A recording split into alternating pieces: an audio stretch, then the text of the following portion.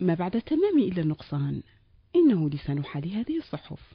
بعد عقود عاشت فيها أوج عطائها فصنعت ووجهت الرأي العام وحملت أهم العناوين والأخبار. كما نشرت مقالات الرأي المثيرة مع التحقيقات والتحليلات الرصينة والتغطيات الهامة. إلا أن عجلة الزمن وإن مرت بمهل لن تكون رؤومة أكثر. وها هي الصحافة الورقية بدأت تخفت ويقل بريقها. الصحافة الورقية بشكل عام بدأت في موريتان السبعينات على ما أعتقد مع جريدة الشعب. هي أول جريدة منتظمة ورقية. وعقب ذلك شهدت تطور كبير في التسعينات خصوصا بعد إعلان الديمقراطية وإعلان الدستور والتوجه للحياة الديمقراطية لأن الحياة الديمقراطية بطبيعتها لا تتم بدون الصحافة والأحزاب السياسية والمجتمع المدني. الصحافة التقليدية بصفة عامة التلفزيون الإذاعة الصحافة الورقية آه، كلها تراجعت آه، آه، تحت ضربات ال social media أو الإعلام الجديد أو الإعلام السريع. وكان من الطبيعي أن يكون أبرز المتراجعين أو أول متراجعين هو الصحافة المكتوبة لأنه مدة أن يحرر تحرر صحيفة وتذهب إلى المطبعة وتسحب وتوزع يكون الخبر قد آه، مر أو قد وصل الجميع عبر وسائل التواصل الاجتماعي أو الإعلام الإلكتروني قبل قبل وسائل التواصل الاجتماعي. الصحافة الورقية وإن أخذ إشعاعها بالانحسار مقابل وسائل الإعلام المتلاحقة والتحول الرقمي الذي يعيشه مجال الإعلام إلا أنها ما تزال تتميز برصيد من المصداقية والثقة من لدن القراء. إضافة لأرشيف حافل واكب أبرز الأحداث السياسية والوطنية وهي عوامل تجعلها تتشبث بالبقاء والاستمرارية. جريدة الشعب جريدة مقروءة لأنها تعتبر المصدر الرسمي.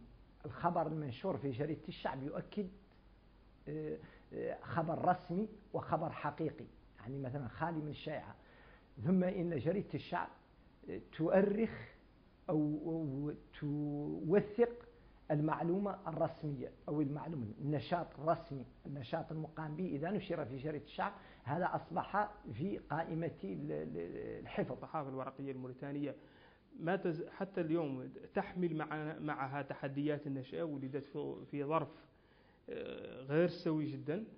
على الرغم أنها يعود لها الفضل في احتضان التجربة الديمقراطية الموريتانية لأن مع بداية المسلسل الديمقراطي الموريتاني كانت الصحف الورقية الموريتانية هي المتنفس وهي الحاضنة الوحيدة للمشهد السياسي وحتى للفاعلين السياسيين في في هذا البلد.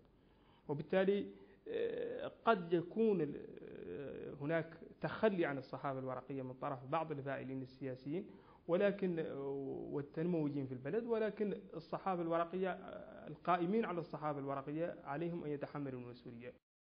وفي حالة الصحافة الورقية هذه ربما تكون هي من أفنت ذاتها من حيث لا تدري. فغالبا يرجع لها الفضل في تكوين أعلام الصحافة الرقمية والتقليدية المنافسة وأبرز وجوهها وتزويد المنصات والمواقع الإعلامية بطواقمها الصحفية.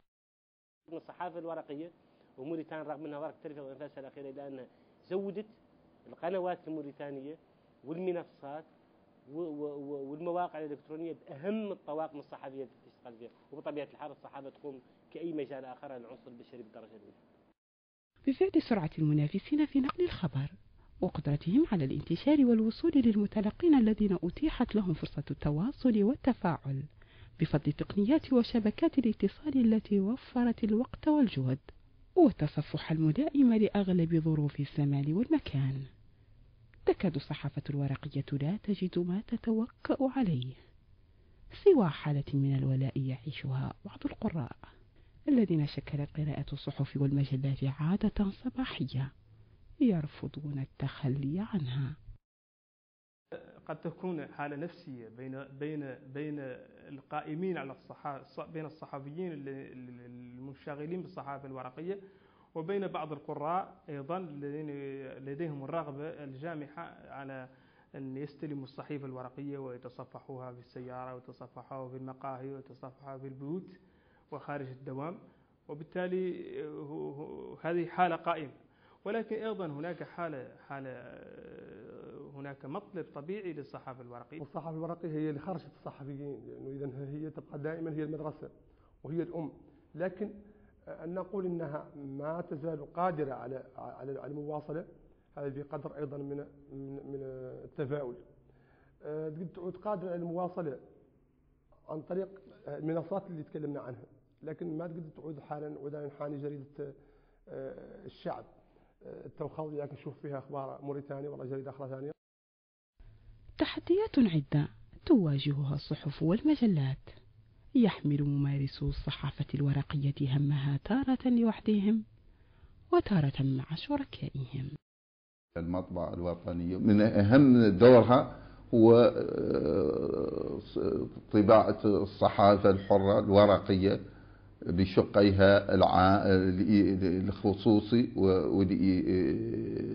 والعمومي بأن جريدتي الشعب وريزون من مهام اللي تقوم بهم المطبعة بالإضافة إلى جميع الصحافة الورقية الخاصة اليوم اللي والسبب في ذلك هو التخفيض اللي قائمة به المؤسسة والقدرة هي المؤسسة الوحيدة القادرة على آه، استقطاب جميع هذه الصحافة الورقية. آه، أمور تحديات أمام الصحافة الورقية الموريتانية من ضمنها التوزيع. لا يوجد لا توجد في البلد أي مؤسسة توزع الصحافة الورقية. ولا ولا وحتى المؤسسات الحكومية وغير الحكومية لا تشترك في الصحافة الورقية. الصحافة الورقية تدرك اليوم بوضوح أن بقاءها أصبح رهن شروط قاسية والواقع أن الصحف والمجلات الورقية أصبحت تشكل عبئا ماليا تنوء به مؤسساتها الإعلامية.